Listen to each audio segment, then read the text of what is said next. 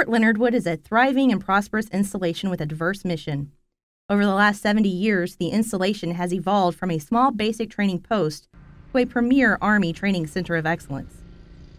Fort Leonard Wood is a valued asset and has proven to be a great investment for the United States, receiving gains in prior base realignment and closures, including the U.S. Army Engineer School and Brigade, U.S. Army Chemical, Biological, Radiological, and Nuclear School and Brigade, the U.S. Military Police School and Brigade, and the U.S. Army Corps of Engineers Prime Power School. The Department of Defense has also entrusted Fort Leonard Wood with critical joint and inter-service training and efficiencies in discretionary moves. We are home to a U.S. Navy detachment, a large Colonel commanded U.S. Marine Corps detachment, and sizable U.S. Air Force detachment. These detachments provide select training for nuclear, biological, chemical, engineer, military police, and motor transport disciplines, and share training and resources with their counterpart U.S. Army schools on post. All DoD training for earth moving, motor transportation, civil support, and chemical, biological, radiological, and nuclear first responders happens at Fort Leonard Wood. We are home to a large international student detachment and the DoD's Humanitarian Demining Training Center. Fort Leonard Wood is also home to the 102nd U.S. Army Reserve Training Division, which oversees all chemical, engineer, and military police reserve training across the country and is commanded by a U.S. Army Reserve's Brigadier General. In total, Fort Leonard Wood provides training and education for nearly 100,000 soldiers, sailors, airmen, Marines, and civilians each year, including nearly 14,000 service members from more than 120 U.S. Army Reserve and National Guard units.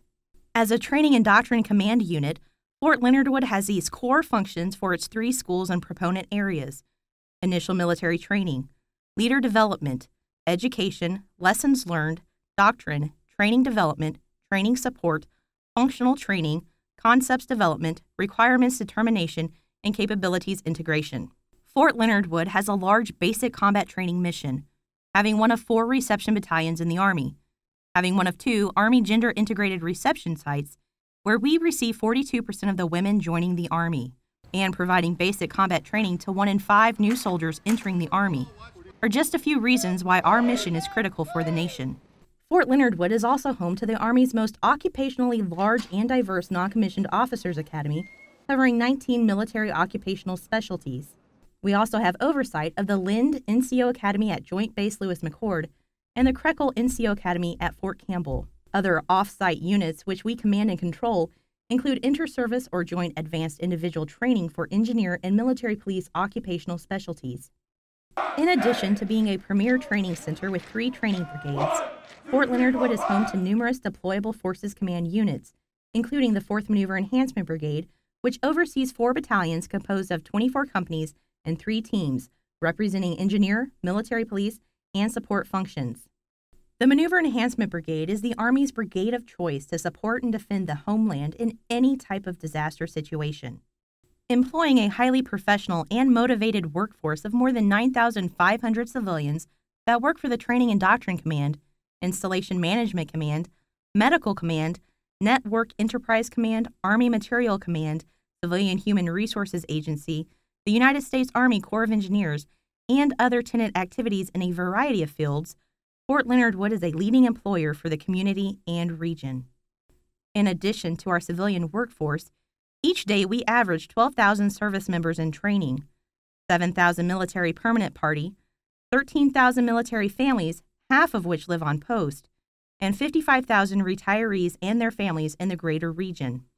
The daytime population of the post is about 34,000. In addition, nearly 200,000 family members and friends attend their loved ones' graduations at Fort Leonard Wood each year. Fort Leonard Wood has an operating budget of approximately $470 million, which includes civilian salaries but does not include more than $680 million in military salaries. Impact aid to the Waynesville school system totals about $10 million, and 60% of military members who retire from Fort Leonard Wood stay in the area. Due to Fort Leonard Wood's mission growth, our military construction program has $454 million worth of projects underway or pending start this year, and the Army is investing $31 million in new family homes on post. So it's no surprise that Fort Leonard Wood was ranked third in Forbes' list of fastest growing small towns in America. Throughout Fort Leonard Wood's tremendous growth, two things have remained constant our leaders' commitment to providing service members and their families a quality of life equal to their service, and the overwhelmingly positive community relationships and support. The unparalleled support from the state of Missouri includes numerous acts of legislation directly benefiting veterans, retired military, and current military members and their families, with tax benefits, unemployment allowances, tuition assistance, and ease of transition for spousal professional certification and for children in public schools. Families residing on post live in new or renovated homes, and many single soldiers live in new apartment style townhouses. Children of service members living on post attend the acclaimed Waynesville School District, which has high marks in academics, athletics, and the arts, as well as state of the art new facilities. In addition, military, family members, and local residents can pursue higher education on post at Missouri's sixth largest degree granting institution. Lastly, Fort Leonard Wood is highly engaged in and has numerous initiatives supporting the Army's energy strategy and sustainability goals. Fort Leonard Wood has no known encroachment, energy, water, or environmental issues to impede future progress. With everything Fort Leonard Wood has to offer, from our inter-service chemical, engineer, military police, and motor transportation missions supporting national security, to our quality of life and capacity in infrastructure, facilities, and land with no known environmental or encroachment issues, to our inexpensive and military friendly state and communities, it's not surprising that more and more service members, families, and civilians are making Fort Leonard Wood their lifelong home. With these qualities, Fort Leonard Wood is postured to grow and prosper for years to come.